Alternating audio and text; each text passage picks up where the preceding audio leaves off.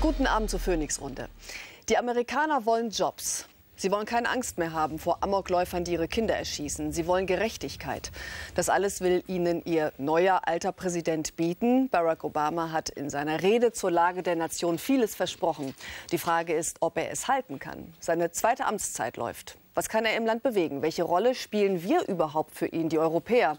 Und wie wichtig ist ihm die Außenpolitik eigentlich noch? Obamas zweite Runde, kann er es jetzt? Darüber diskutiere ich jetzt mit meinen Gästen. Stormy Annika Mildner von der Stiftung Wissenschaft und Politik. Sie sagt, in den nächsten vier Jahren hat der Präsident zwar größere Spielräume, muss er sich doch nicht mehr um seine Wiederwahl sorgen. Doch ist auch das Risiko zu scheitern groß. Die politischen Gräben zwischen den Parteien sind so tief wie nie, zuvor. Washington ist in der Krise. Charles King Mallory, Leiter des Aspen Institute in Berlin.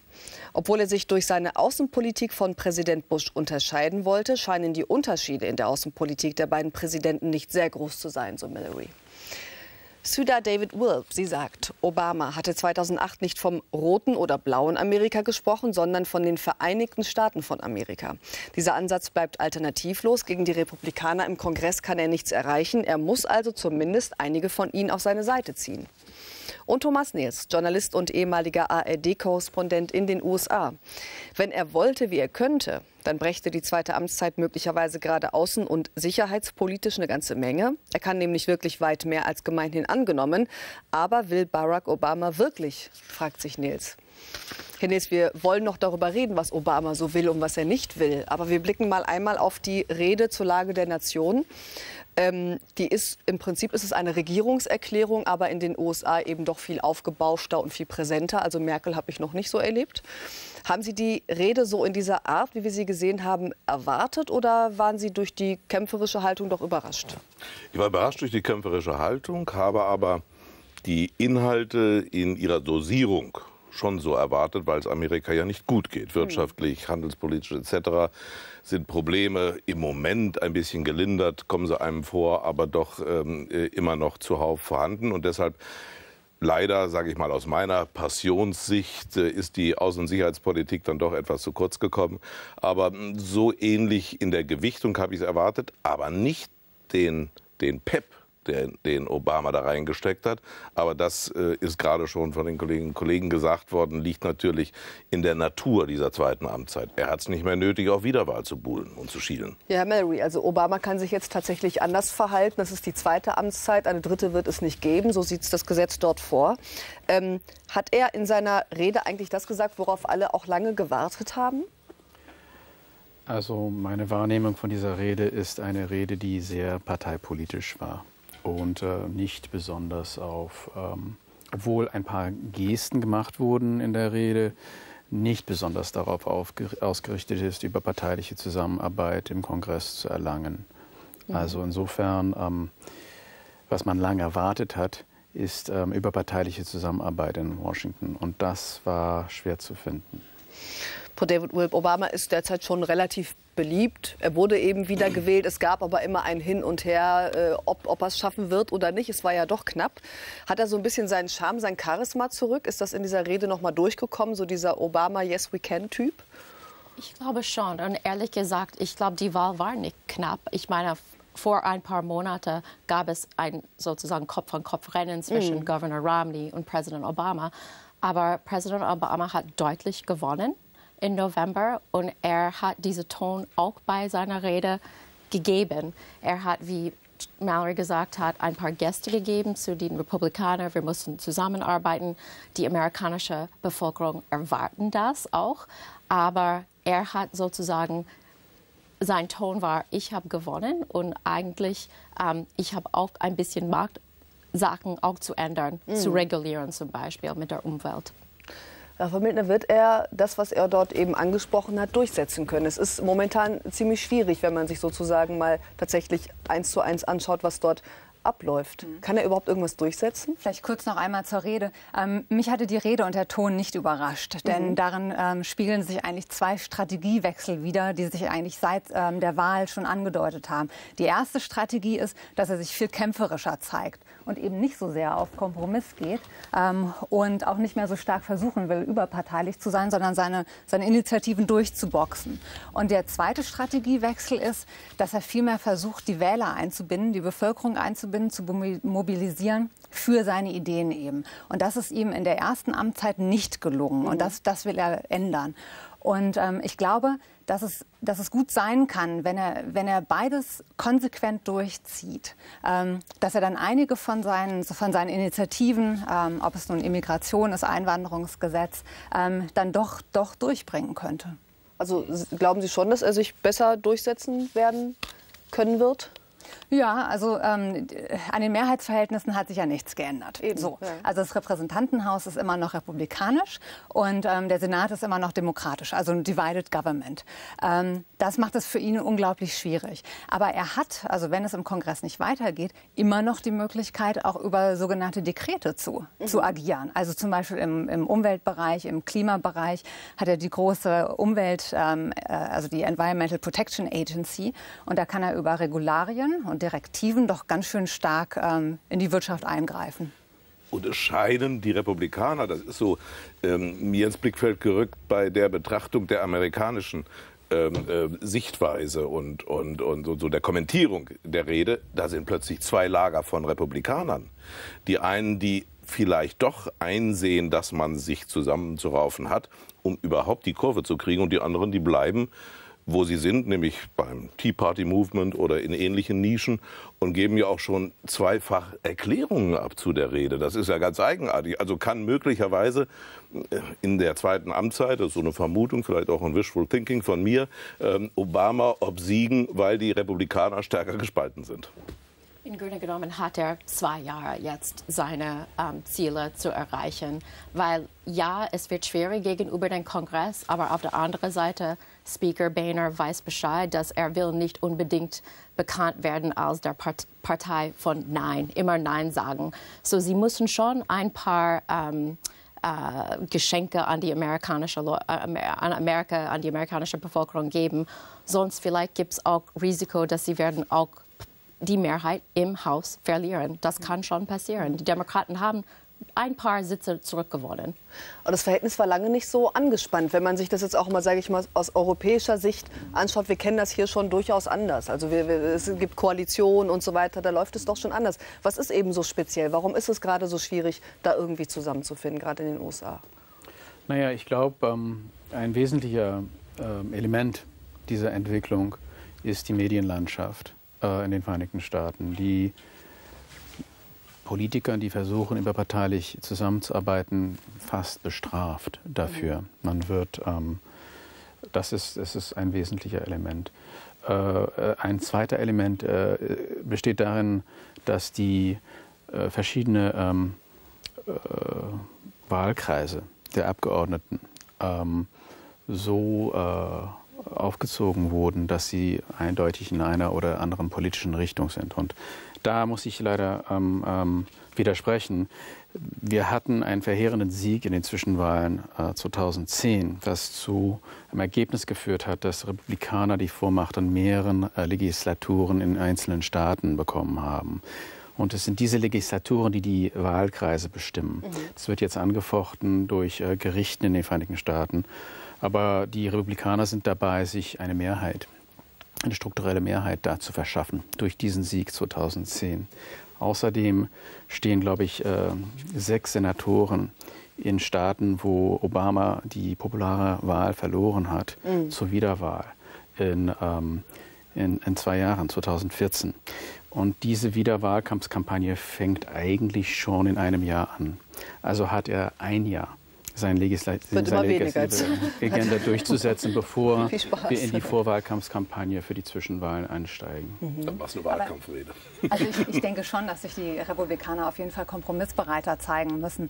Denn auch in den letzten Wahlen hat man ja genau gesehen, dass, dass sie bei bestimmten Wählergruppen überhaupt nicht gepunktet haben. Das waren die jungen Wähler, das waren die Frauen, das waren die äh, Afroamerikaner und das waren die Hispanics ähm, und also Latinos. Und, und auf diese Wählergruppen müssen sie stärker zugehen und dementsprechend auch mehr Kompromissbereitschaft in diesen Themenfeldern auch zeigen. Und dazu gehört beispielsweise die Einwanderungspolitik. Und ich glaube, das ist eines der Themen, wo man über diesen tiefen Graben ähm, die Hand ausstrecken kann und dann zusammenarbeiten kann. Ein anderes Thema ist die Bildungspolitik. Mhm. Ähm, sieht man ja auch schon. Also gerade die Grundschulbildung war ja eins der Themen, das in, den, in, den, äh, in der Rede auch angesprochen worden ist. Ähm, also ich, ich, ich, ich denke nicht, dass es so weitergehen muss mit dieser gegenseitigen Blockade und Polarisierung, sondern dass da doch einiges passieren kann. Zumal es ja auch ein paar Lichtblicke gibt in den letzten Monaten. Es gehen, je nachdem, wie man es betrachtet, gerade als Wirtschaftsfachfrau oder ähnlich, aber es gibt ja schon ein paar mehr Jobs und es gibt für diese Gruppen, die wir angesprochen haben, schon ein paar Lorbeeren, die da äh, erwirtschaftet wurden. Und Welche ich, ich glaube ich glaub beispielsweise, dass ähm, auch hier und da das Einkommen gestiegen mhm. ist durch andere Jobs. Es gibt nicht mehr nur diese, diese, diese prekären, wie, wie, wie sie ja bei uns auch immer zahlreicher werden. Und ähm, es sind die, die international, internationalen Zahlen ein bisschen stärker gefestigt. Also das internationale Geflecht, das ist verlässlicher. Ähm, selbst von unabhängigen Instituten wird so betrachtet. Und das kann sich natürlich die Obama-Regierung aufs äh, Konto äh, schreiben lassen.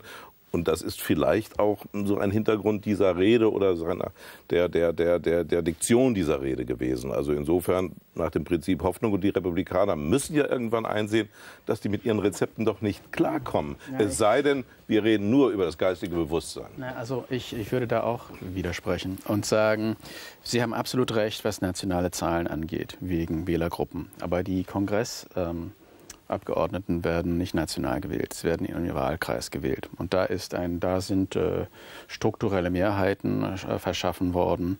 Und die republikanische Antwort auf Obamas, Obamas nicht sehr, sage ich mal, ähm, großzügige Behauptung, ich habe gewonnen, ich sage, wo es lang geht, ist ja, und wir haben den Repräsentantenhaus gewonnen, unsere Mehrheit wird, sich, ähm, äh, wird größer sein in den nächsten Zwischenwahlen wegen diesen Entwicklungen auf der Staatsebene und äh, Gesetze, die mit, mit Ausgaben und mhm. mit Steuern zu tun haben, haben im Repräsentantenhaus äh, anzufangen. Also, good luck. Ja, aber auf der anderen Seite, ich meine, die Tea Party ist eine neue Bewegung. Ja, ich meine, die meisten Leute sind gekommen in, was war das, 2010, ja, mhm. das war die neue Welle. Und sie brauchen Zeit auch zu lernen, wie Abgeordnete zu sein. Und manche haben zum Beispiel jetzt diese Regeln schon gebrochen über kein, äh, mehr, no more, kein mehr Steuer. Sie haben gesagt, okay, dann müssen wir wegen der Fiskalcliff diese gravierende Krise doch schon mitmachen und abstimmen. Und so, ich glaube nicht, dass wir werden immer ähm, die Mehrheit von den Republikanern im Haus sehen. Es ist immer ein Konzept von, wir wollen neue Gesichter vielleicht. Es ist einfach auch eine äh, Geister von der Leute, dass die wollen nicht die gleichen Leute im ähm, Repräsentanthaus haben. Kommt es Obama zugute, dass tatsächlich er ja auch, das hat man in der Rede gemerkt, versucht, die Bürger viel mehr mit einzubeziehen, als zu sagen, sozusagen ich als der Präsident, den ihr hier gewählt habt und ihr als meine Bürger und wir zusammen? Nutzt er das immer mehr? Ja, also ich würde sagen, diese Rede hat sich gar nicht so sehr an den Kongress gewendet wie an den Bürger. Also der war ganz klar an die Wähler adressiert. Und ich glaube, das ist eine der großen Lehren, die er aus seinen ersten zwei Jahren in seiner ersten Amtszeit gezogen hat. Ähm, da war ja das äh, Government, also die Regierung, Regierung noch nicht divided. Die Demokraten hatten Senat und Repräsentantenhaus und konnten ja eine ganze Reihe von Gesetzen tatsächlich durchbringen. Die große Gesundheitsreform, die Finanzmarktreform. Es ist ihm aber nicht gelungen, diese großen Reformen, und ich würde sagen, das war schon ein, ein riesiger Erfolg, ähm, dem Bürger zu verkaufen und zu erklären, was er macht. Ähm, und die Demokraten sind dafür abgestraft worden, ganz klar. In den 2000er Wahlen haben sie massiv Sitze verloren, Stimmen verloren. Ähm, und das will er eben verhindern, dass das jetzt ähm, 2015 wieder passiert, indem er von Anfang an viel deutlicher macht, ähm, was, was er will. Mhm. Und dementsprechend hat er ja auch sein Wahlkampfteam nicht abgeschafft, sondern jetzt umgemodelt ähm, in quasi ein Mobilisierungsteam, das die ganze Zeit kontinuierlich kann böse sagen, Wahlkampf macht, aber eben auch verkauft. Verändert sich das Land gerade tatsächlich? Von diesem, wir wollen eigentlich nicht, dass der Staat sich einmischt, wir, wir kriegen das alles ganz gut hin, Beispiel Gesundheitspolitik, hinzu, doch, wir, wir lassen uns da doch ein bisschen mehr führen?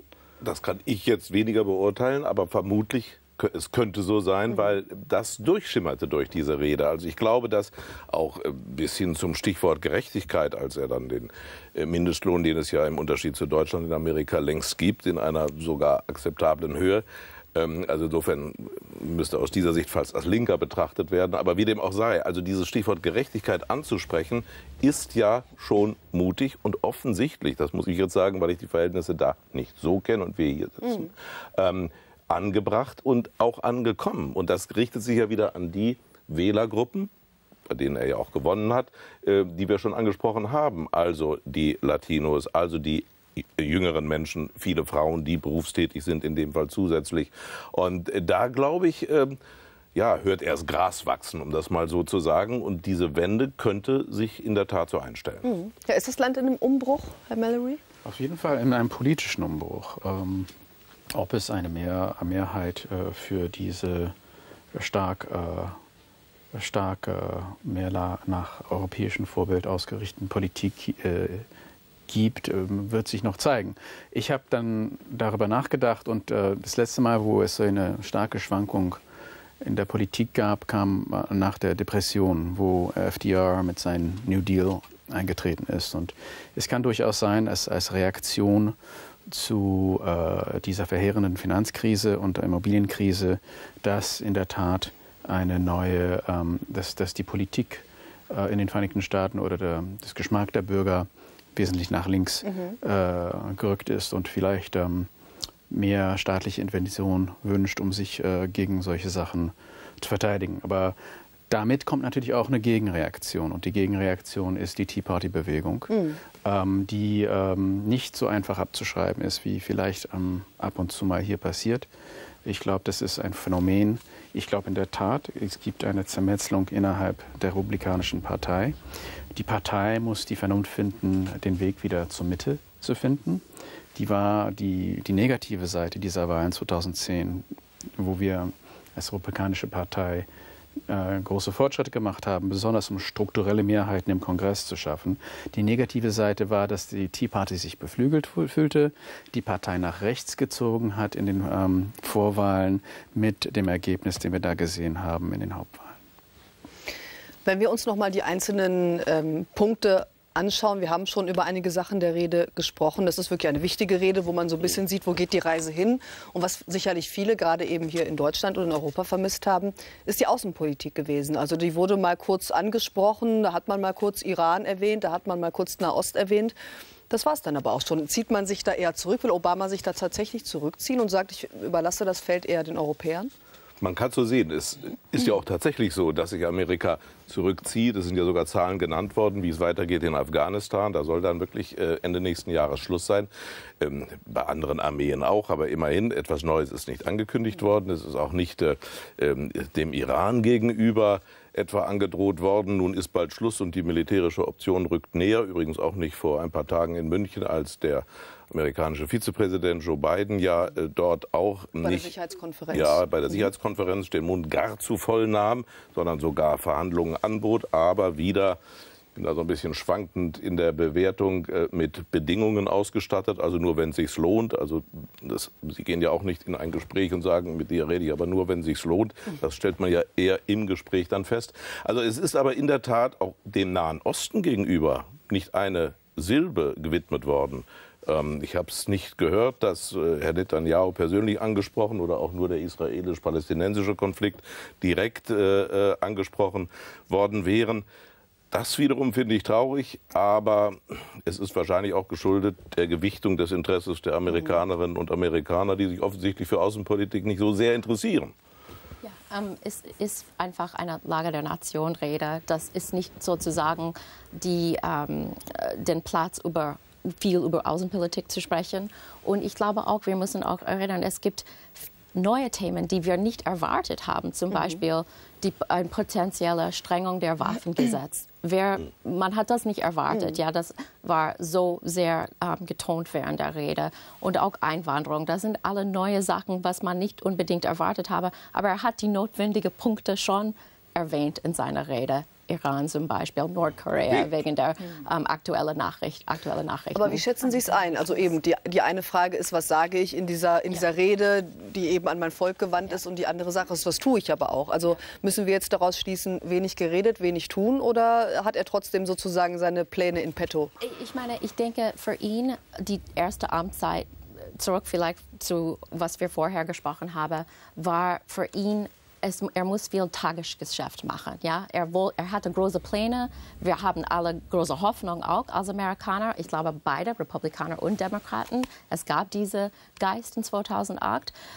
Und jetzt ist, gibt es die Chance für ihn, ein Visionär zu sein. Mhm. Und ich glaube, seine Liebe ist diese Innenpolitik. Er kommt von so einer Grassroots-Bewegung. Er will solche Themen machen und jetzt hat er auch vielleicht eine starke ähm, Secretary of State und er kann das alles an John Kerry verlassen auch. Aber er ist auch Friedensnobelpreisträger. Dafür muss man doch auch mal was tun. Aber ihm bleibt ja im Moment auch gar nichts anderes übrig. Ich meine, die Schuldenproblematik ist immer noch nicht gelöst. Der Sequester steht an. Die Schuldengrenze muss angehoben werden. Also das erste, ganze erste halbe Jahr ist er eben noch mit diesen Haushaltsthemen beschäftigt. Ähm, wenn, wenn man Pech hat, wird der Haushalt für dieses Jahr nicht verlängert. Ähm, die Regierung steht kurz vor einem Government Shutdown.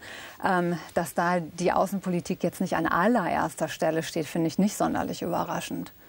Also kein mangelndes Interesse, sondern eher, da, da drückt der Schuh woanders. Ja, also natürlich drückt der Schuh im Moment. Man muss die Zahlungssicherheit der USA ähm, sicherstellen, indem man die Das war aber den USA anhört. teilweise auch egal. Ich meine, wenn wir uns Bush angucken, das, das war relativ egal. Da drückte der Schuh auch, aber da hat man trotzdem gewisse Sachen gemacht, die eben jetzt nicht mehr passieren. Also scheint es da doch eben natürlich sowieso schon bedingt durch die Politiker, aber einen, einen großen Wandel zu geben, oder nicht? Ah, nee, nee. Also die Probleme, vor denen die USA selbst gemachte, politische Probleme im Wirtschaftsbereich im Moment stehen, ähm, ist, ist in keiner Weise vergleichbar mit dem, was äh, Präsident Bush ähm, zu tun hatte.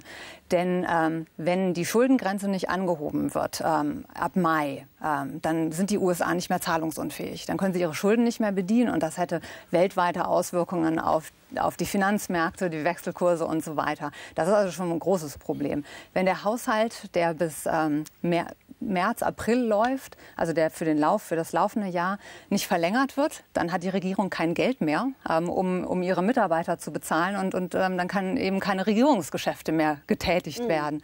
Und wenn der Sequester einsetzt, also diese Pauschalkürzungen across the board, 1,2 ähm, Billionen US-Dollar über zehn Jahre, überall, Verteidigungshaushalt, ähm, Sozialprogramme, dann rutschen die USA sofort in eine hm. Rezession rein, eine tiefe Rezession. Trotz allem, Und das ist, das ist wirklich so also ein ganzer Batzen. Ja, trotz allem ist, glaube ich, doch der Eindruck, gerade in Europa sozusagen, in gewissen Situationen, helft uns dort auch bitte. Wenn ich jetzt mir Mali zum Beispiel anschaue, da hält man sich sehr raus. Ähm, ist die Erwartungshaltung da tatsächlich zu groß? Oder, oder können die sich das wirklich auch leisten zu sagen, nee? Ich meine, ich glaube, die Erwartungshaltung ist zu groß in ein paar Hinsichten. Auf der einen Seite kam viel das Wort, wir überlassen das alles Europa. Ich glaube nicht, dass das die Wahrnehmung in Amerika ist. Ja? Also Europa wird nicht wahrgenommen, ähm, um es einfach auf den Punkt zu bringen. Mhm. Aber die Idee, dass Europa irgendwie damit zurechtkommt, sorry. Ähm, und äh, dann die andere Situation. Wir haben hier stark betont bekommen, dass man mit den inneren Angelegenheiten beschäftigt ist und dass man wirklich keine ausländischen Engagements mehr haben möchte. Also wir haben zehn Jahre lang zwei Kriege durchgemacht, wo, Entschuldigung, wir die Hauptlast getragen mhm. haben. Wir möchten da raus. Und ich meine, es ist dem Obama zu gut zu schreiben, dass er das macht. Ja? Dass er jetzt äh, Afghanistan aber das ist, das ist eine schlechte Nachricht für Europa. Weil im Grunde genommen bedeutet das, nein, Amerika, es gibt keinen Geschmack in Amerika, wirklich, ähm, wenn es darauf kommt, ähm, etwas in Iran zu machen. Mhm. Und die Iraner wissen das. Mhm. Ähm, und deswegen auf sich alleine angewiesen zu sein, wir lassen das den Europäern. Ich bin nicht so sicher, ob das eine tolle Sache ist. Mit Verlaub, dass ich reagiere auf diesen Halbsatz, äh, die Hauptlast getragen in zwei Kriegen. Ja, was denn sonst? Den zweiten Krieg, den gegen Irak, hat Amerika angezettelt, auf Lügen aufgebaut, sollen dafür auch noch Europäer bezahlen. Das wäre ja noch schöner. Äh, in Afghanistan war und ist das anders und da hat ja die ja, Gemeinschaft ja. der solidarischen Länder etc. etc. Ja, im Kampf gegen Terror auch Stange gehalten und äh, Deutschland naja, ist zum Beispiel drittgrößter. Da, wir, da sind wir ganz verschiedener Meinung. Zuerst, äh, in Irak äh, hat der Westen ähm, Irak gegen Iran aufgebaut. Wer hat der viel Waffen verkauft und Chemiefabriken? Chemiewaffenfabriken. Deutschland. Deutschland. Also bitte keine Predigen. Und äh, zweitens, ähm, in Afghanistan es, äh, gab es Mission Creep. Wir sind zu einer Nation-Building-Strategie umgegangen und sind in einen Sumpf reingelaufen. Also das als irgendwie ein Erfolg oder der gerechte Krieg zu bezeichnen, äh, finde ich, ist auch ähm, äh, wirklich nicht angebracht. Äh, und äh, es ist sehr schön, hier auf der Seitenlinie zu sitzen und Amerika das alles anzukreiden. Aber eure strategischen äh, Versorgungslinien werden dadurch von Amerika gesichert. Ah, ich und ihr profitiert mich, davon. Ich erinnerte also mich nur im Moment äh, an zehn Jahre zurück und ich war in New York Korrespondent zu der Zeit, als am 5. Februar 2003 im UNO-Sicherheitsrat an die Wand geworfen wurden, die Bilder, die Fakes waren, also Fälschungen, falsch interpretiert. Und der Außenminister Paul musste die auch noch ähm, rechtfertigen. Und äh, wie viele Tage danach, am 20. März, 5. Februar plus ähm, äh, 30, 45 Tage danach, ging der Krieg los. Aber wir müssen nicht äh, äh da äh, hinterher argumentieren.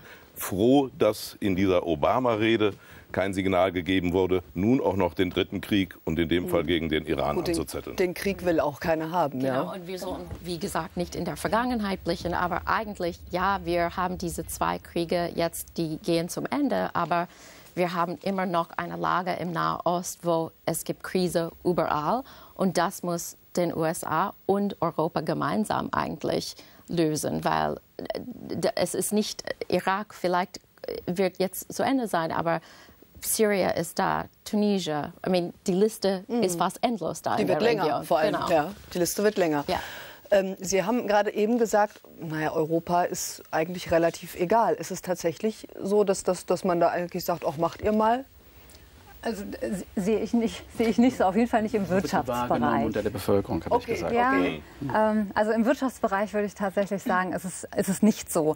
Und, es soll jetzt also ähm, eine Freihandelszone geben, über die möchte ich nämlich auch sprechen. Also genau. Also man will ja eigentlich die wirtschaftlichen Beziehungen noch enger haben. Genau. Ähm, bei der Münchner Sicherheitskonferenz, ähm, ich habe kaum an zwei Tagen so häufig gehört, auch von Vizepräsident Joe Biden, wie wichtig Europa für die USA und wie wichtig die USA für Europa sind und dass es die stärksten Partner sind, ähm, das Fundament ähm, äh, stark und wichtig und ähm, dass wenn man nach Asien guckt, dann guckt man gemeinsam nach Asien, aber es ist kein Wegwenden der USA ähm, von Europa nach Asien, sondern wenn, dann wendet man sich gemeinsam wenn überhaupt gemeinsam ähm, nach Asien. Also auf jeden Fall ähm, war der, war der Punkt, Europa ist wichtig, USA ist wichtig, wir sind, wir sind wichtige Partner füreinander. Und, und da habe ich nicht wahrgenommen, dass wir Oder no matter. Das war, das war nee, ich glaube nicht, das war nicht, ja, also war man nicht muss höflich, auch nee. natürlich einen Abschlag machen für die Floskeln, die da kommen. Ja. Aber im Grunde genommen war also wirtschaftlich gibt es natürlich sehr tiefe Verbindungen, absolut richtig.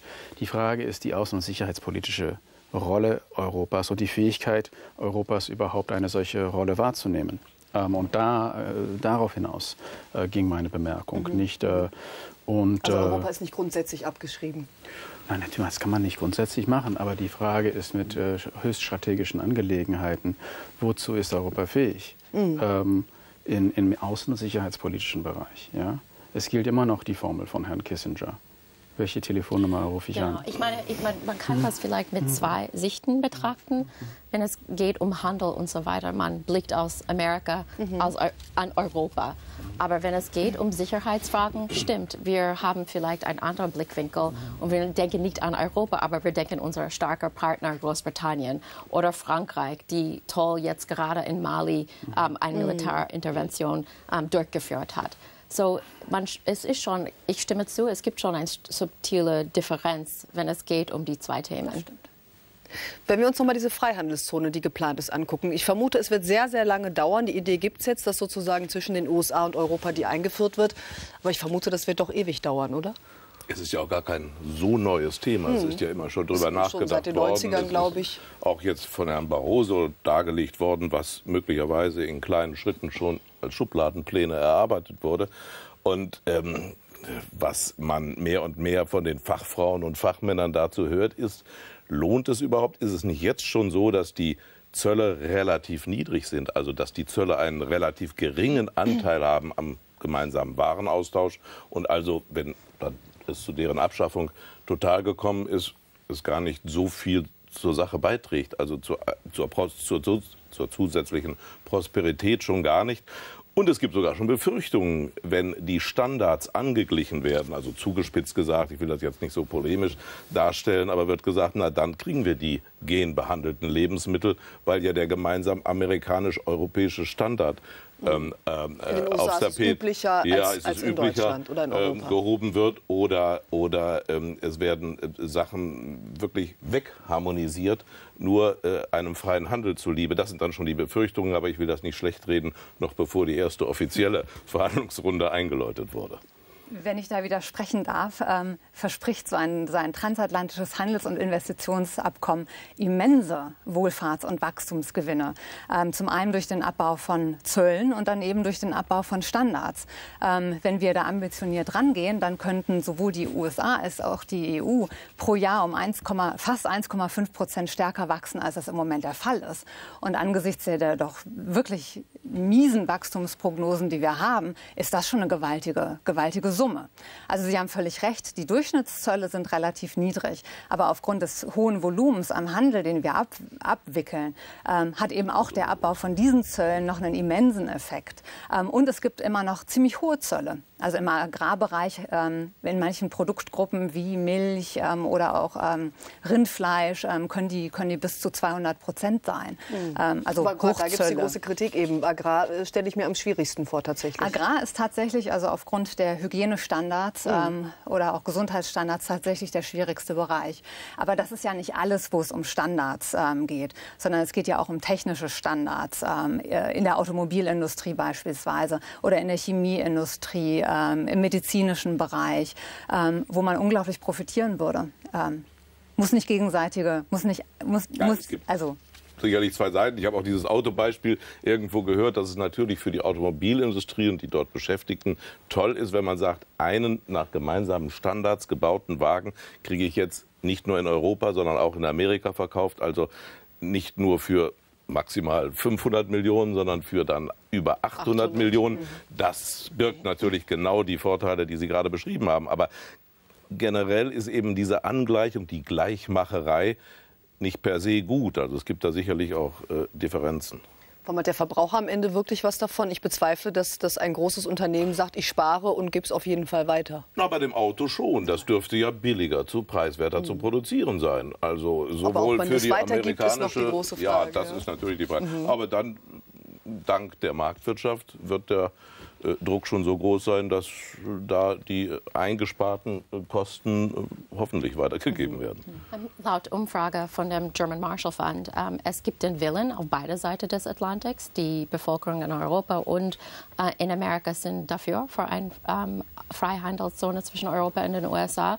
Und das Thema ist nicht neu. Es ist schon alt. Ich habe im Kongress gearbeitet für viele Jahre und als wir Besucher aus Deutschland oder aus Europa ähm, bekommen haben, gab es immer das Thema Free Trade Zone zwischen Europa und Amerika. Und äh, ich glaube, es war so höfliche Interesse. Aber ja. jetzt vielleicht ist die Zeit reif wegen der Krise in Amerika und auch in, in, in, in ähm, in äh, Europa und man sieht, oh, China ist eine Bedrohung, wir müssen zusammenarbeiten und vielleicht jetzt ist die Zeit richtig, sowas durchzuführen. Genau, warum jetzt? Was steckt da genau dahinter? Äh, könnte das auch so ein kleines Geschenk sein, sage ich mal, an die Europäer oder ist es eher, man stellt sich eben auf gegen Asien? Alle wollen und Herr, Herr uh, Präsident Obama hat das auch in seiner Rede gesagt alle Abgeordnete wollen Jobs in ihren Wahlkreis schaffen mhm. und bei einer uh, Ribbon-Cutting-Ceremony sein. Ja? Und ähm, das ist das. Ähm, alle sehen, dass das ist vielleicht eine potenzielle mehr Jobs zu ähm, schaffen. Ich glaube auch, es ist, ähm, es ist die Erwartung oder die Hoffnung, Arbeitsplätze zu schaffen, ähm, das Wachstum zu befördern. Es ist auch die Hoffnung, dass man international globale Standards zusammensetzt. Also EU, USA zusammen können vielleicht noch Standards setzen, also gegen China oder gegen andere aufstrebende Länder. Aber alleine können sie es eben nicht mehr. Und deswegen schließt man sich zusammen. Ich denke, das ist ein wichtiger Grund, was heute anders ist mhm, als ähm, damals, noch ja. 2006. Da war das Thema das letzte Mal wirklich auf der Agenda. Und was wirklich anders ist dieses Mal ist, dass es zur Chefsache geworden ist. Mhm. Ja, auf der US-Seite, Präsident Obama hat sich dafür eingesetzt. Auf unserer Seite ähm, sowieso schon seit langem ähm, Angela Merkel, aber auch eben auf europäischer ja, Ebene. Ja, es ist, es ist ein Leader. Und Präsident Bush und Chancellor Merkel. Ja, ja aber, aber damals war es The Merkel Initiative, also die Merkel-Initiative. Und wenn Amerikaner eins nicht mögen, ist das, wenn eine Initiative mit einem anderen Namen versehen werden und nicht mit ihrem eigenen. Nicht die Obama-Initiative, sondern auch noch die Merkel-Initiative. Die Reaktion zeigen ja sogar Möglichkeiten, Herrn Cameron da zurück ins Boot zu holen, weil äh, Cameron und Merkel am lautesten applaudiert haben nach der Rede. Also äh, äh UK, Großbritannien ist natürlich auch dabei. Also insofern die, die, Briten haben das zu einem ihrer Hauptthemen ja. ähm, ihres G8-Vorsitzes gemacht. Mhm. Und die Iren haben es als zu ihrem Hauptthema in der EU-Ratspräsidentschaft gemacht. Ich kann mir keine Rahmenbedingungen vorstellen, die besser sein sollten. Alles wird gut. Na, vielleicht. Sie haben Merkel angesprochen und Obama. Das Verhältnis zwischen den beiden äh, soll nicht so gut sein, wie das zwischen Bush und äh, Merkel war. Wie würden Sie das derzeit beschreiben? Ist das vielleicht eben auch etwas, wo man sagt, gut, da kommen wir wieder ein bisschen enger, näher zusammen? Ja, also ich bin natürlich nicht mit Ihren persönlichen Gesprächen äh, vertraut. Ich kann, ich kann wirklich äh, nicht sagen, dass ich irgendwie hinter den Kulissen in Gesprächen von Frau Merkel und Herr Barmer irgendwelche Einsichten habe. Ähm, man kann, ähm, man kann, äh, also im Gegensatz habe ich schon einige Informationen über das Verhältnis Merkel-Bush. Das war gut. Äh, es war natürlich auffällig, dass der Präsident Obama nicht da war zum 20. Jahrestag der Fall der Mauer mhm. und seine Staatssecretary äh, of State geschickt hat. Ähm, es war auch auffällig, dass der Biden ähm, mit allen seinen Höflichkeitsfloskeln in München äh, seine Rede damit angefangen hat mit der Aussage, dass der Präsident ihn immer zu den unangenehmen Angelegenheiten oh, schickt. Ja. da hat er wirklich sein Foot-in-Mouth-Disease wieder gehabt. Ähm, aber im Grunde genommen, glaube ich, äh, gibt es eine viel engere Zusammenarbeit äh, zwischen den Regierungen, die angenommen wird. Es gibt eine sehr starke Neigung, das auf Personen zu beziehen. Mhm. Und es, wir reden über institutionelle Verflechtungen zwischen Ministerien, die Beziehungen, die über Jahrzehnte aufgebaut sind, besonders im militärischen Bereich, aber auch im diplomatischen Bereich. Also, ähm, und, und zurück zum Thema ähm, Freihandelszone. Ähm, ich glaube, das ist eine Möglichkeit, beiden Seiten eine Wachstumsspritze zu verschaffen. In schwierigen Zeiten, wo äh, das Wachstum nicht so leicht ankurbelbar ist. Mhm. Die Befürchtung auf republikanischer Seite ist genau dieselbe von den Briten mit Europa, dass wir wessen Standards kriegen wir dann ähm, ähm, ja, aufgedrungen durch, ja? Ja, äh, durch die Hintertür einer Freihandelszone. Das wird das Thema sein. Agrarpolitik wird auch ein Thema sein. Ich glaube, die Zusammenarbeit, besonders mit dem neuen ähm, Verteidigungsminister Hagel, ich glaube, äh, es ist schön, einen Verteidigungsminister zu sehen, der selbst im Krieg dabei war äh, und äh, gut versteht dass man alle diplomatischen Möglichkeiten ausschöpfen müssen, mhm. muss, bevor man zu Gewalt greift. Äh, mit Kerry, der eine Erfahrung hat äh, mit Europa viele, viele Jahre lang, gibt es die besten Bedingungen, dass die Beziehungen zwischen den zwei Seiten enger werden. Ich glaube, ähm, dass das die Beziehung zwischen, zwischen Angela Merkel und Obama sehr gut ist, weil die beiden sich nämlich eigentlich doch sehr ähnlich sind. Mhm. Sie sind beide unglaubliche Analytiker. Mhm, ja. Ähm, ja Jetzt sie bin ich gespannt, wo sie sich noch ähnlich sind. Ja? sie, sind ähm, sie sind relativ trocken und sie brauchen diesen Kuschelkurs nicht. Erinnern Sie sich daran, an dieses eine G8-Treffen, ähm, wo Angela Merkel in dem Stuhl gesessen hat und Präsident Bush von hinten kam und sie so massiert hat? Mhm. Das mag Frau mhm. Merkel nicht. Ne? Mhm. Ähm, und Obama ist da, denke ich, eher eher auf ihrer Linie. Ähm, trocken, analytisch, ähm, durchdenkend, ähm, plant. Ähm, und da braucht es nicht unbedingt der, der großen, ständigen, großen Worte und der ähm, Liebesbekundungen. Man weiß einfach, dass man eine gute Beziehung miteinander hat. Ich finde sie eigentlich sehr unterschiedlich. Also Obama gerade, der doch irgendwie äh, charmant daherkommt und die großen Worte schwingt und Merkel, die doch eher zurückhaltend ist.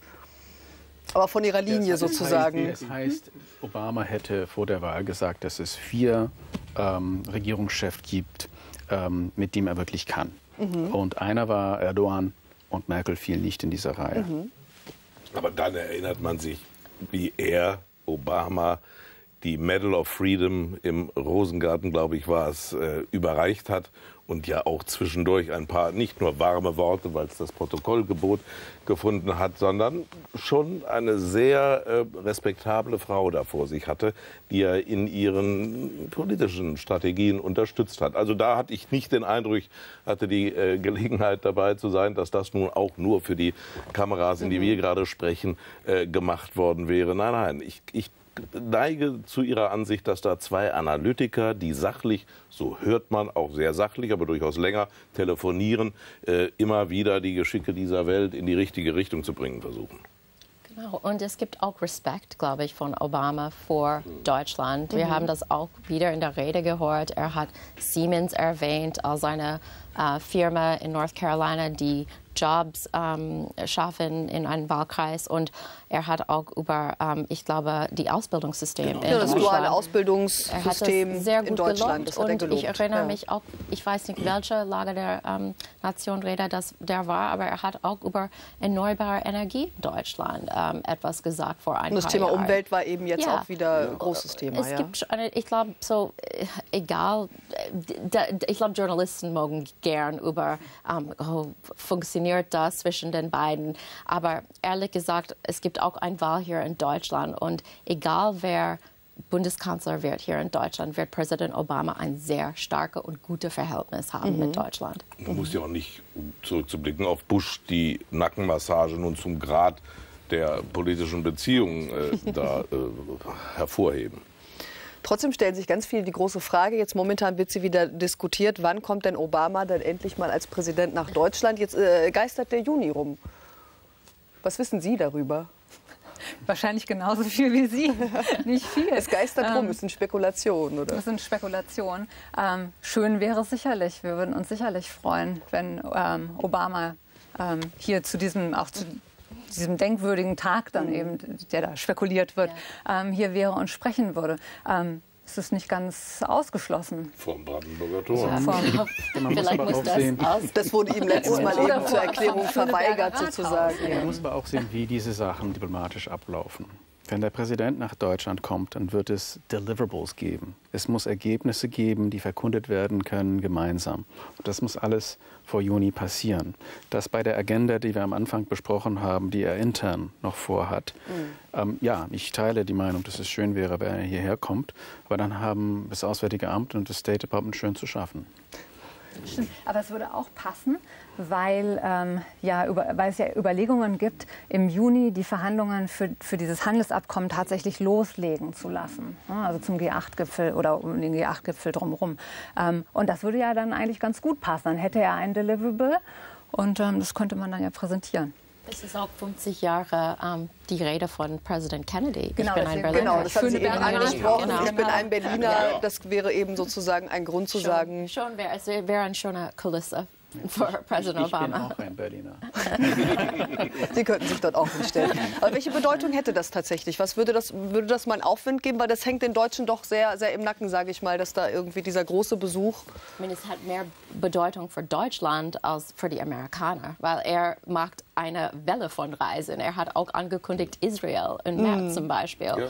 Und so, ich meine, für die amerikanische Bevölkerung bedeutet es nicht so viel. Die wissen, dass die Politiker wie Obama und ähm, Secretary Kerry müssen überall in der Welt hinfliegen. Aber für Deutschland wird es schon wichtig sein. Und es gibt, wie gesagt, einen äh, Bundestagswahlkampf hier im September. Mm.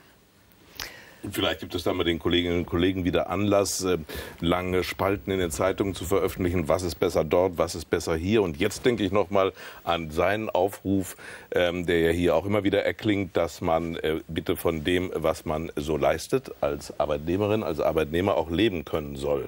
Das wird ja hier mhm. Mindestlohn. Na, vielleicht wird der dann um 1,50 auf 9 Dollar erhöhte Mindestlohn die hiesigen Parteien anspornen, ein paar Monate vor der Bundestagswahl das Ding doch noch über die Bühne zu bringen. Aber das ist jetzt wieder Wishful Thinking. Also das spricht eigentlich dagegen, dass es einen Besuch gibt. Die Tatsache der Wahl ja, spricht dagegen, ja. weil äh, kein Präsident wird irgendwie wahrgenommen werden, ähm, will nicht, dass wahrgenommen wird oder gedacht wird, dass er irgendwie für den einen oder die andere Seite sich entweder einbringt Eingesetzt oder, oder instrumentalisieren hat. lässt. Mhm. Genau, aber deshalb ist Juni das perfekte Datum, weil das ist im Grunde genommen das letzte Fenster. Wir werden- dann, danach wird es zu spät. Zwei, zwei Monaten vor der Wahl. Wir werden mit Spannung schauen. Zumindest im Juni könnte das Wetter ganz nett sein. Auch das wäre doch ein Argument. Herzlichen Dank an Sie für die Diskussion. Herzlichen Dank an Sie fürs Zuschauen und ich wünsche Ihnen einen schönen Abend. Tschüss.